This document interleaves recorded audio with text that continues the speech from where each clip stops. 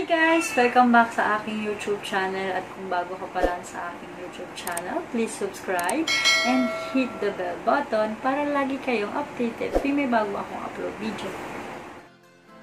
And for today's video, meron na naman po tayo susubukang pampaputi, pampakinis na sabon.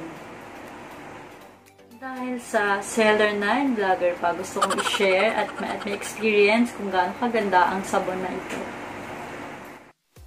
Dahil sa sobrang dami kong nakitang feedback at nag-glow yung skin nila at may pakinang, pakinang effect pa, syempre. Ito yung uh, Jenna Essence Glow Glowing Skin, ang Cocoa Berry Soap nila. Cocoa, Cocoa Berry Body Soap. Syempre, ito yung gusto kong itry ngayon. Syempre, ang dami ko nakikita ang feedback nito. At yun nga, nakikita ko na parang may pa kinang-kinang effect, may pa-glowing and at nakakaputi din, syempre.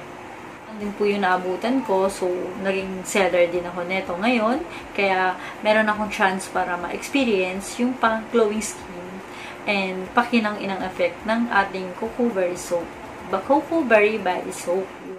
At yung sabon na meron ako ay limited edition lang. Ito po yun. Ito po yung pinapakita ko sa inyo ngayon.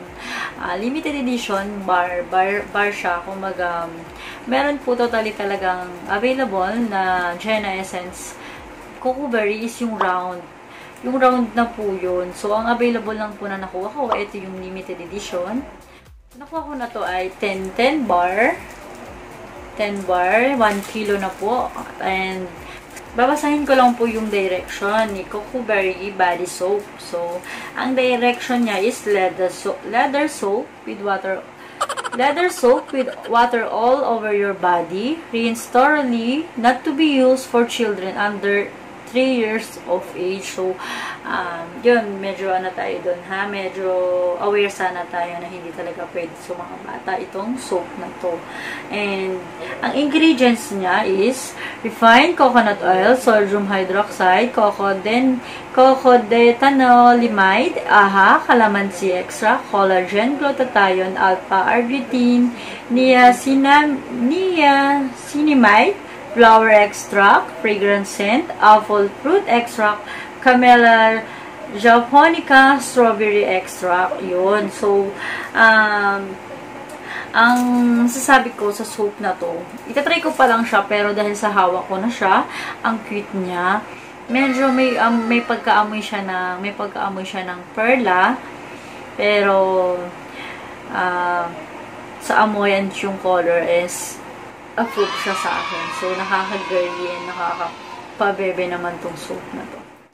At syempre, sa gustong itry at gustong magbumili ng uh, Cocoa Berry Body Soap, uh, ilalagay ko po sa description box na kung saan pwede po kayong umorder sa akin or um, pwede ko kayong ma-refer sa mga seller na malapit sa inyo. At syempre ngayon ay susubukan ko na po itong soap na to. Ngayon pa lang, ngayon pa lang po siya susubukan, syempre. At uh, abangan nyo po, i-upload ko po sa next uh, video ang final update or result ng video about dito sa Cocoa Berry na to. Syempre, uh, pagdating sa sabon, hindi naman po agad-agad makikita yung result kung gagamitin ko siya ngayon or sa one week, eh, makikita ko na kagad yung pinaka-result ng Cocoa Berry na to. Uh, ang i-stop, bali, ang i-stop ko muna po yung ginagamit kong soap na para makita ko kung kung ano yung magiging result nito sa akin kung ako ba ay mahihiyang or kung ako ba ay hindi mahi or kung ako ba ay hindi mahihiyang. Um, Sorry kung nabitin kayo. Siyempre, nabitin kayo sa video ko dahil hindi ko mapapakita yung pinaka-result uh, nito ngayon. Pero, okay magalala. I-upload ko din agad 3 uh, weeks or 1 month. Pero kung makakakita agad ako na, makakakita agad ako agad ng pinaka-magandang result at may pagbabago, syempre, i-upload, mag-upload na po ako kagad ng uh, result ng Coco Very Body Soap na to. Um, sorry ah, kung medyo matagal kasi soap po kasi ang ating uh, sinusubukan. Hindi ganun kabilis. May kita ang difference or kung kung ano yung magiging effect nito sa, sa skin natin. And disclaimer, hindi po ako expert. Ito, uh, disclaimer, hindi rin po ito sponsored. Um, pwedeng hindi rin po, mahi, pwede rin po hindi hiyang sa'yo at hiyang sa akin. Dahil or pwedeng hiyang sa'yo at hindi hiyang sa akin dahil iba-iba po tayo ng skin type. Medyo mag, mag-input na lang din po ako, mag-input na lang din po ako dyan ng mga picture ng ng skin ko para makita natin kung may pagbabago. Sa ngayon kasi mahirap siya makita dahil sa mga sa ilaw na ginagamit ko ngayon. Diba? Saka uh, saka at saka, mahirapan po kasi tayo makita kung may pagbabago sa skin ko, syempre. Pero sa next video ko, dito na din po ako mag-vlog ulit para makita natin kung may pagbabago or mag-input ako ng picture. Medyo mahirap po kasi kung ganito yung ilaw na gamit ko.